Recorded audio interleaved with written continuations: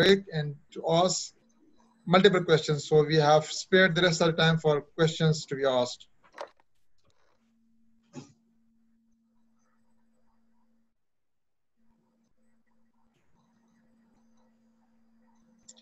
First questions by hand raise.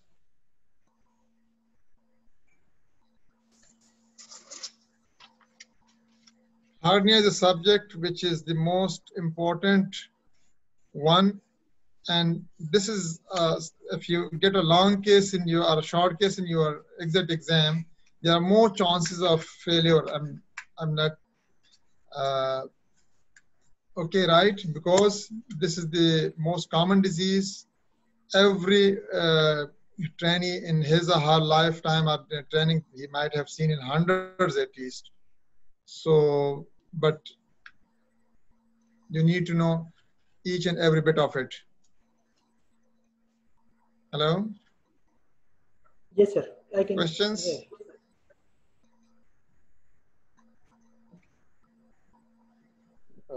No question? Some other procedure, okay, you, you can tell him theoretically that I have read in my book because this ethics exam is the one in which we want to know about the candidate, the candidates who have seen the procedure, who have done the procedure, and the candidate who have just read the books, right? So there's a difference between the two. And an examiner, I can I can judge the one who are performing and the one who are just uh, reading the books. Right, sir. Uh, sir, secondly, in the recent uh, advances, um, uh, in fact, in the latest edition of Kushari, we have read that uh, um, the analysis they have done between the mesh repair and the uh, Bassini repair. Now this is that they have equal recurrence rate. Can I say that that uh, it is Okay. actually true? Okay. Uh, basically, uh, there are a lo- there are a lot of advances in the uh, herniology and and abdominal wall reconstruction. So the studies which are uh, the, uh, which are done in different aspects, Bassini is uh, no more practiced, right? Yes, sir. because there are certain drawbacks associated with Bassini. Yes, Num- because it's a, it's not attention free. Because you are Exactly, sir. uh, approximating the two structures of inguinal ligament, conjoined And we never give any when the- tension uh, relaxing incisions. Yeah, when the patient is under anesthesia, you can do it very well and you can do it easily. But when the anesthetic effect is gone, his muscles are taut, so there are chances of tearing it off.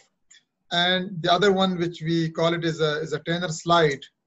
Again, there's a there's an obsolete one because you are incising an area which is a normal inversion Creating and subjecting and again. predisposing the patient to another, right? Weaker point. So. Yes, uh, the, the the ideal the ideal procedure would be attention free, right? So the, the best tension free repair is a mesh hernioplasty. Mesh repair. Uh, Toronto repair or the Shouldice to some extent is a tension free, but it's not totally tension free repair, right? So in terms of in sequence, uh, you can say the mesh repair is the best one, followed by Shouldice and Bassini, right? Bassini is not totally out of out of fashion now.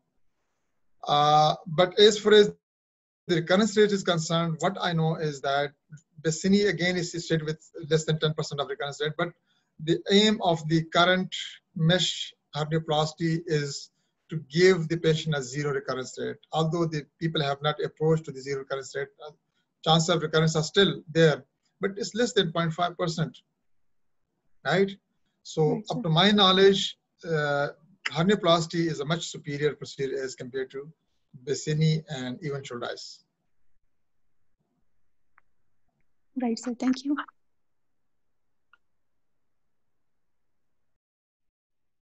Hello, Okay. Hello, hello, Dr. Israr here, sir. Israr, how are you? Thank you, sir. Fine. Sir, uh, I have two questions. One about the open repair, one about the laparoscopic repair, sir. In case, sir, open repair, Sure. is it mandatory to go for the uh, separation uh, of the cord section? I mean, dissection of the cord structure to separate this sac. Uh, in case of indirect hernia, Uh, yes, sir. Okay, obviously, indirect hernia sac is the one which is coming from inside the deep ring. It's covered by the uh, cremasteric fascia. So you have to incise the fascia, you have to identify the sac, you have to dissect every structure other than the sac, and dissect it up to the point where the preperitoneal fat is visible. Then open the sac because at times the contents of the sac they can be adherent to the wall of the sac. So make sure that the contents are not adherent and they are well reduced inside the abdominal cavity, and then only then you can transfix it, uh, transfix it and and and remove the redundant part of the sac. That's what herniotomy is. Okay, sir. And second but, question, but sir, there's, about there's, there, there's another but. Uh, this this is in, in case of a big sac. Suppose if there is a small sac just uh, coming out and peeping out of the internal ring. So sometimes people they can just uh, dissect it out, push it back, and just put a mesh on top of that. There's no need to, to go for herniotomy. This is also another lesson. Okay, sir. Thank you. And second question is about the laparoscopic, sir. Uh, what about, sir, if the patient come with a bilateral inguinal hernia, sir, and on the right side femoral hernia? So we have to repair one and, and one go if uh, we didn't take any sort of consent for the patient. Okay, this is important, right? Suppose you have put your scope inside and you have the patient has come for right inguinal hernia. And while scoping the patient, you have noticed that the patient has got a left sided also. If you are expert enough and if you have, uh, can do on both sides, well and good, but consent is one of the most important factor. So you cannot go against the wish of the patient. If patient has specifically mentioned, okay, do operate on the right side, I'm, and uh, I mean, you have to discuss the possibility prior to putting him to sleep that while putting the scope, there are chances that you may have got the hernia on the other side. So what to do with that? Should I repair that? So if the patient gives consent, okay, go ahead and do a bilateral repair. But if the patient has not consented prior to surgery, so just do whatever is needed and whatever the patient has come for, come for and do it at a later date. Okay, sir. And sir, what about LaRoque procedure, sir? Sorry? LaRoque procedure, sir. Uh, I, I don't know about LaRoque procedure. Sorry. Okay, sir. Thank you, sir. Uh, Thank you. Okay, there are certain questions about Desarda and other repairs. Okay, uh, I think we, sh- we should s- stick to the standard internationally acceptable procedures, right? Regarding these procedures, uh, there is a lot of confusion. So there are uh, three participants more than I have a slide share. I would like to uh, share that. A quick uh, five Okay. minute slide share. So, Sure, sure. okay, Dr. Usman, uh, do you want to say something? You can unmute yourself. Hello, sir. This is Dr. Yes. Usman. Uh, I've done, I'm doing the my training. Rather, I've done my training in Northwest with Dr. Nochad. So my question is basic. That uh, it is uh, just like Dr. Noor's question, uh, but it is uh, from the open uh, perspective side. That uh, what are the indications of bilateral inguinal hernia repair? Okay. Uh, bilateral open hernia repair. This is what your question. Yes, sir. Okay, right, right. Suppose if a patient has got primary bilateral inguinal hernias, so treat the side which is more symptomatic, right? Don't sir. give him extra trauma and defer the procedure to a later date for the contralateral side. This is what is recommended, right? Bilateral inguinal hernia repair uh, when is only recommended when you are not giving extra trauma to the patient or when the both of the sides they need to be repaired uh, for some reason. Like we gave a scenario of bilateral recurrent inguinal hernia, right? So for Right. recurrence, obviously you have to go from a virgin place. And the virgin approach for bilateral hernia we mentioned was uh, Stoppa repair. In Stoppa, you do a, a pre-peritoneal dissection. Suppose you have done a right side Stoppa and there is recurrence on the left side also. So if to go in against the pre-peritoneal space is a difficult job. So it's easier to go simultaneously on both sides if the patient has got bilateral issue. So bilateral repair is only needed if you are doing it uh, Stoppa repair or if you are doing a laparoscopic. In open, if you are making two separate incisions, so uh, there's something not recommended, right? Because their chances of complications are doubled, chances of uh, immobilization are doubled, chances of trauma, uh, pain uh, are doubled. So why not to defer the procedure to a later date when the anesthesia and everything is safer for these days? Okay, there are different practices. Like I know of a surgeon who is an Indian surgeon working in a very experienced person. So he used to do only TEP repair for inguinal hernias. And he, what he would do, he would uh, put a mesh on the contralateral side also. Right. One of the drawback of the TEP repair is that you cannot diagnose the contralateral side as you can do in TAPP repair, right? So Yes, the people who are in favor of TAPP repair, they say, okay, if, with the help of TAPP, you can diagnose the contralateral side and you can see inside the abdominal cavity what's going on. But he was of this opinion, okay, if there's a if there's a hernia on contralateral side or not, but you put a mesh in that, it's a prophylactic mesh repair. I don't know if the literature would allow that or not. That's still uh, premature, but this is a personal uh, practice which I have seen there. Right, so Sir, uh, let's suppose uh, during our viva, the examiner asked us that uh, the patient has bilateral inguinal hernia. So, in that case, before the anesthesia, can we uh, give the option of bilateral laparoscopic inguinal hernia repair at that specific time to do both the hernias? Uh, obviously, right, everything has to be discussed with the patient prior to, to surgical procedure, prior to anesthesia, right? So first of all, you have to be clear in mind what you want to do for that patient. Hello? right, sir. Yes, sir. If he has got a bilateral inguinal hernia and you are expert in laparoscopy, you, you are confident of the fact that you can do it bilaterally with a three small openings. So why not to go, to go for that? The only additional pros- the, uh, trauma for the patient will be a preperitoneal dissection on the other side. It's uh, less traumatizing as compared to open repair, right? So, uh, but the interior, uh, uh, the abdominal wall uh, access is the same one. You are using three ports for both of the sides. But that has to be to be communicated to the patient. The pros and cons are to be discussed with the patient prior to surgical intervention. But if suppose the previous scenario that you have put your scope in and you have found the contralateral hernia incidentally and the patient was not counseled for that. So just mention in your notes that there he's got hernia on left side also. That can be done, done later on, right, with, with open or laparoscopic approach. Right, sir. Thank you.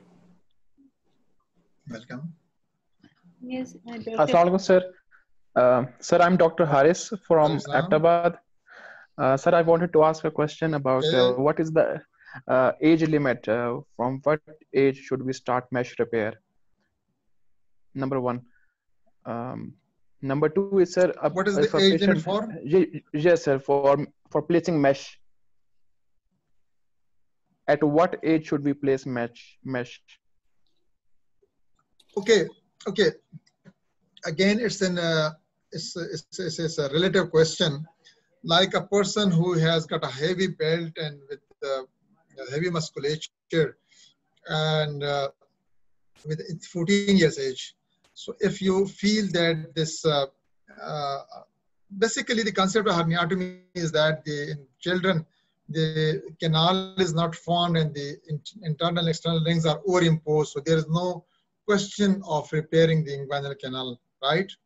But sometimes, in uh, even in uh, younger age groups, you feel that the canal is a is an elongated one, and there is some defect on the posterior, so you can prophylactically put a mesh. But what the literature is suggesting is 16 is the is, is the cutoff limit age, Okay, right? sir. So anybody Uh, because congenital hernias basically if you remove the peritoneum there's the treatment at all because the muscles are strong and there is no need to repair the posterior wall and the uh, inguinal canal is not so formed well. So why to put a mesh which is synthetic and prone to get out, uh, to get a lot of complications? So it's Yes, uh, relevant but the, for exam purposes you can say 16 is the cut- cutoff Yes, sir. Sir, uh, second question is that if a patient is having a, a BPH also and having inguinal hernia, should we uh, always uh, repair BPH first, or we can do inguinal uh, mesh repair? if the Okay, patient is not okay. symptomatic. Again, you decide.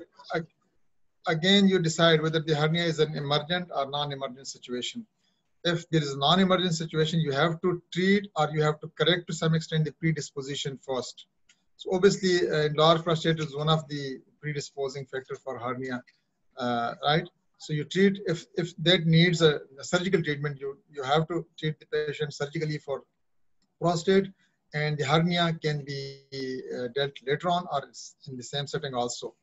Uh, but if the, the patient uh, with enlarged prostate can be treated with medication and pharma- pharmacological agents, so why not to put that patient prior to surgery, uh, prior to hernia surgery, for a minimum of two weeks, and then subject the patient to hernia surgery. Okay, sir. Sir, one last question. Uh, sir, what is the treatment of inguinodynia? Oh, a very difficult, uh, difficult uh, uh, uh, scenario. Inguinodynia is basically what happens in inguinodynia. Either you have injured the nerve and is the neuroma formation on top of that, proximal distal of that, or you have caught the nerve in a, in a stitch or in a stapler device, or you have uh, mm, uh, applied a clip on that and that has uh, devascularized the nerve. So all possibilities are there. So ranging from painkillers to steroids, and ultimately, if it doesn't work, then you have to go for neurectomy. But neurectomy is the most difficult procedure because you need to identify the individual nerve, which are very small in size, and you need to make sure that you have you have uh, uh, incised and cut the the culprit nerve. Okay, sir. Thank you, sir. Welcome. You're most welcome. Any other question? Uh, so there is a question in chat by Dr. Ikra. Uh, she's asking um, if we have a patient with inguinal hernia and paraumbilical hernia, ideally, how should we proceed? Open or laparoscopic? Okay. Uh, we have got a bad culture of uh, not counseling the patient and not educating the patient. And we simply, okay, you need, you have got this hernia and you need to be, the patient doesn't, even the educated people, they don't know what are the alternative options you have. So basically, patient needs to be educated. And first of all, you, you, you have to decide what is uh, bothering the patient. If the patient is concerned about both of these hernias, if you are expert in, so you can do simultaneously with open approach, both umbilical and both inguinal hernia is, it can be do it's doable. But the, for me, like uh, the best would be to go for a laparoscopic eTEP repair for both umbilical and inguinal hernia. Uh, you can do it uh, simultaneously and with the help of your laparoscope. So this is something uh, gold standard and something recent advances, but you have to start from the basic uh, as far as the exam is concerned. So right right from the beginning, if you say, okay, I will do an eTEP for paraumbilical and eTEP for right inguinal hernia, so maybe your examiner doesn't like it. So don't start with that, okay? So you, you start your discussion with this point. I will discuss the patient. If both of the, the hernias are bothering the patient, I will I can operate on both of the hernias simultaneously with open, right right sided inguinal open approach and uh, as well as umbilical open approach. Or if one of the hernias is bothering it, the other is not bothering, so we can repair the hernia and fix the problem which is bothering the patient, and we can leave the other one to a later date. But on, after that, the, the examiner will ask, start asking you what's the recent advances and what is the, the modern concept. Is there any minimally invasive uh, procedure which can handle both of these hernias? Okay, only then you can uh, vomit it out that okay, eTEP is one of the option. Right, sir. So she also asked that if the patient is cirrhotic and he has ascites, then laparoscopic approach is better or uh, open approach? In case of ascites? Yes, sir. Sorry? Yes, sir. Cirrhotic patient with Why ascites. this? Okay, in cirrhotic never go for laparoscopic, okay? Right, sir. So, and uh, Dr. Bahir is asking how to uh, treat an infected wound. How to treat an infected wound post hernia repair? Is it Okay, necessary? infected wounds means you have to classify. I mean, infected wound has to be classified first. What do you mean by infection? Is a skin infection? Is a periosteal infection? are infection confined to the deeper structures involving the mesh also. So even if the mesh is involved and there is a seroma got or hematoma got infected leading to abscess formation, so even you can uh, treat that condition by aspiration, culture sensitivity, antibiotics, and painkillers. That's it. But sometimes it will necessitate removal of the mesh if the infection is uh, so widespread and it's uh, uh, involving the mesh all around. So, uh, I mean, first we have to start with antibiotic culture and all this, and later on you can explant the mesh if need arises. Right, sir. Uh, so Dr. Zulfikar is asking uh, about how to deal pantaloon hernia laparoscopically. Okay, right. Uh, I mean, it's quite easier to deal the pantaloon hernia. In open hernia, you may miss one of the component of the pantaloon hernia, but in laparoscopy, it's not humanly possible to miss any kind of hernia. Uh, leaving alone the inguinal hernia, you can you can detect the femoral hernia, even the obturator hernia, if you are expert enough. So I mean, if because you are looking from inside, everything is coming from inside. So whether it's a indirect hernia, whether it's a direct hernia, and whether it's a femoral hernia. So again, uh, I will refer to the uh, critical view of MPO that will make you sure to, to deal all different types of hernia simultaneously at the same time without leaving any complication behind. Right, sir. Uh, sir, before we proceed,